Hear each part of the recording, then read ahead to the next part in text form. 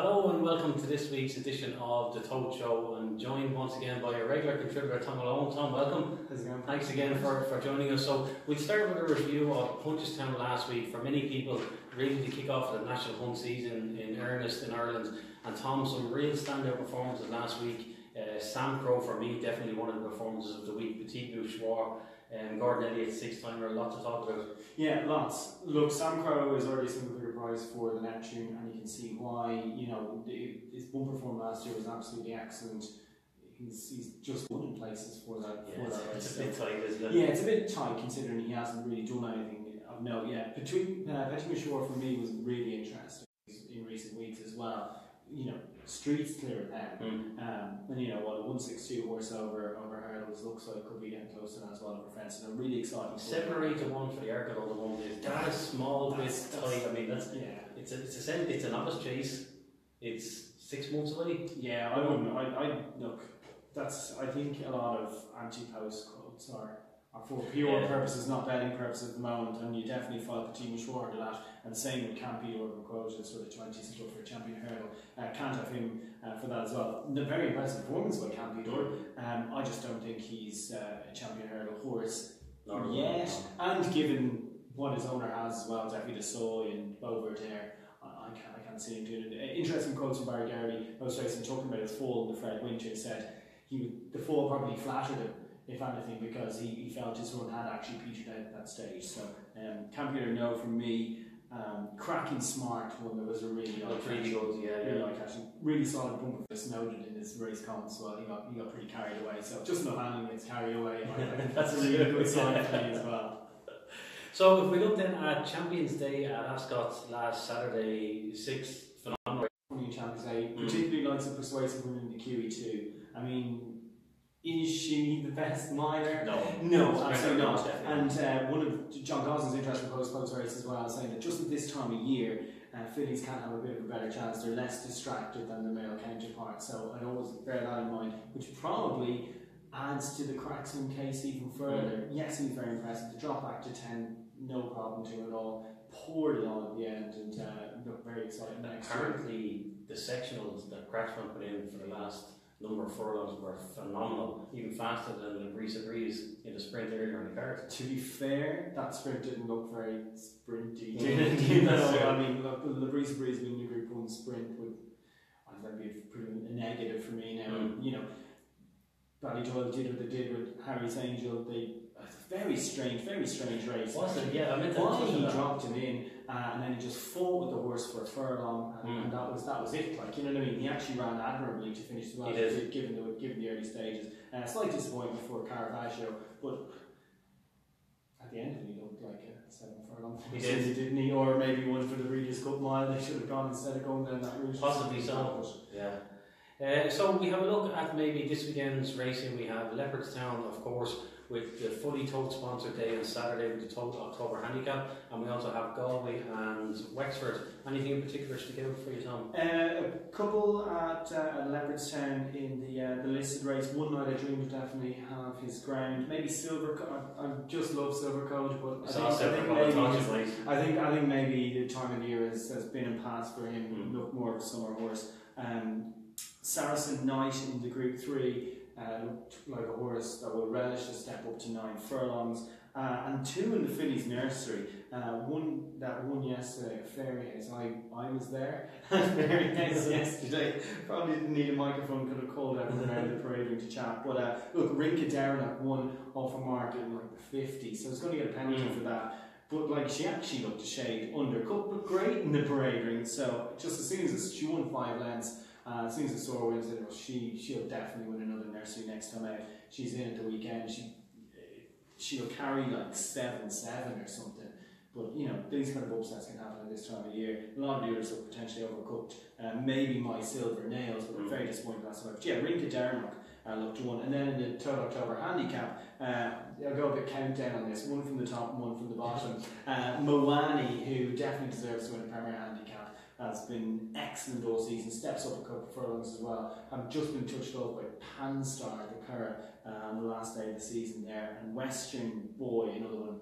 He's a really consistent sort.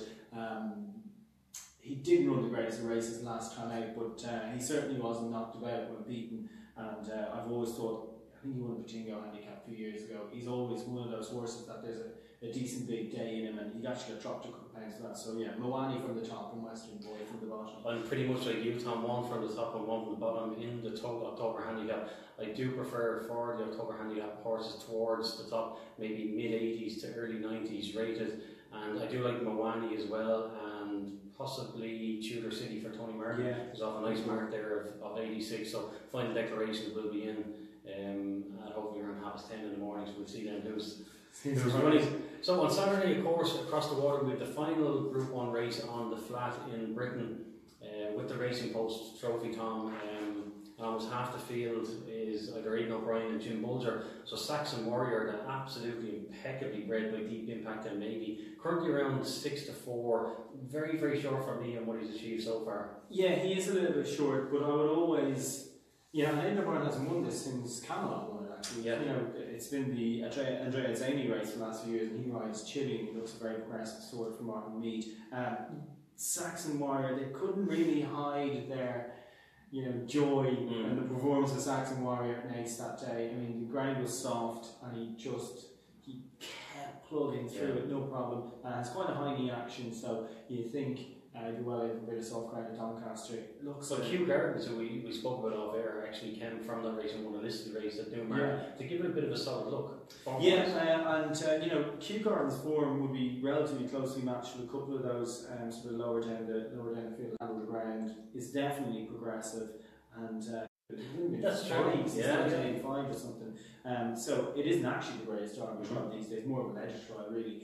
Um, but look, yeah, Saxon Warrior is a, a proper favourite. Are you gonna the I think I think you know who are going verbal dexterity for me, and it, it's purely he's a he's a proven Grade One winner.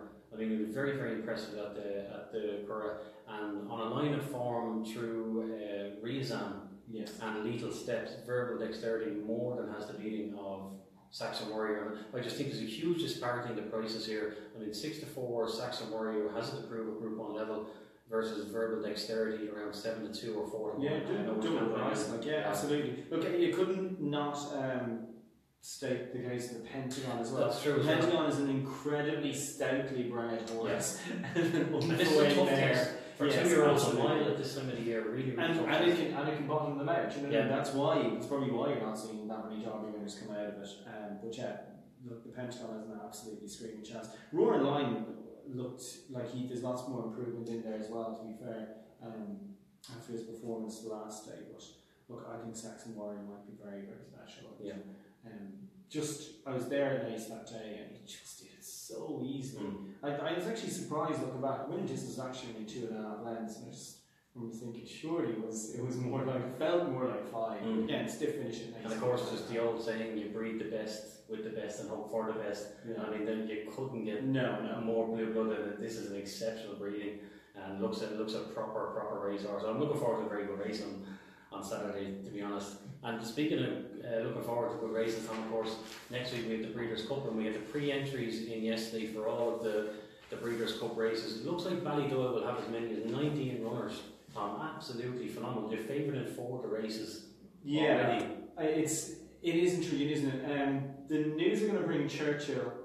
That interests me just because the horse that Aidan O'Brien has compared Churchill to most often, uh, and Ferguson speaking, is Giants Causeway. Yeah, who you know Of course, who very came so close was that 2000 um, so yeah that would that would be a, a little positive for me look Roly Poly you'd like to think that she could just being by Warfront she could perhaps Mm. do something um, look, Lady Aurelia is around about 6 to 4 in the turf sprint that looks a bit of a gift price to be Yeah. perfectly honest given you know any trouble Lady Aurelia finds is late in the race so she should have been put to bed quite honest, before we get to next week, and we'll probably have a preview, hopefully next week, very early in the week. For me, I cannot believe that Lady Aurelia is not odds on at this stage. I Yeah. cannot see a single horse getting within two or three lengths of her around Del Mar because it's such a sweeping turn. It's only a furlong and a half in the straight and should be gone before. yeah, it should be gone before then, yeah. And Yeah. even like the others will have to change their legs. By the time they change their legs, it should Yeah, you know, they'll be waving at the crowd. That's it. But Ulysses, another sort of obvious European chance there. You know. Very definitely, yeah. The, the way the races will be run, particularly on the Tour of Del Mar next week, will suit Ulysses down to the ground. You can just sit in behind him, stalk, and use that turn of foot over the 12 furlongs. Yeah, absolutely. And you know, he swerved Champions Day to get a bit of Yeah. ground. You know, he absolutely, you know, he's, he's, a, he's a relatively. If Churchill does run in the Classic, it's his first preference. His second preference is for the mile. Do you give him any chance in the Classic? Well, I have to think about this. Apparently, his, his natural speed, so he could actually get a prominent position, Hmm. then coast along for a little bit. Once they get to the turn, if he can get them off it, he might just be able Yeah. to use his stamina to get home. So the race could actually run to suit him. Hmm. Just because, like I said, he has such natural speeds out to get into position. The time when he potentially hits a flat spot in the race, they're turning anyway, and he might be in front, so it might not actually be a problem. And then by the time they come to him, once he gets out of the turn, Yeah. he should be able to battle onto the line. You know? And it looks like a fantastic race. Always one of the my favourite races of the entire year. Uh, for me, the the American three-year-olds aren't up to much this year. Yeah. Uh, I'm fairly in the camp of the four-year-olds, Arrogate, and particularly Gunrunner, who I reckon is the best thrower. bit the track will be tricky for him. Though. Absolutely, been beaten both times at Del Mar, and he's such a long striding horse. He needs time. I think that's actually when he won last year when he beat uh, California Chrome. Only had that the length of the straight for him to get to California Chrome. It just wouldn't have happened. And Yeah, and that won't happen until I don't think so. Yeah. No, I don't think so. I think I think Gunrunners is as solid a favourite as you'll see um, for the week. So once again, thank you very much for watching, and thanks to my guest Tom Malone Thank you. for for having me, Matt. for all your contributions and the very best of luck with all your bets this weekend uh, at Leopardstown and Galway and Wexford and we'll be back next week for the Breeders' Cup.